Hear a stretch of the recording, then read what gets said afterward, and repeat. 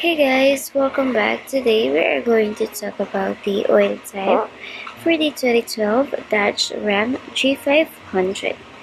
And if you are looking for what oil to buy for your 2012 Dodge Ram 3500, I have already looked it up. Just check the video description and I will try to leave the info there as well. The oil type for the 2012 Dodge Ram 3500 is 5W-20 synthetic. This oil type is only the manufacturer's recommended oil type. Keep in mind that the type of oil could change depending on the year and mileage of your car.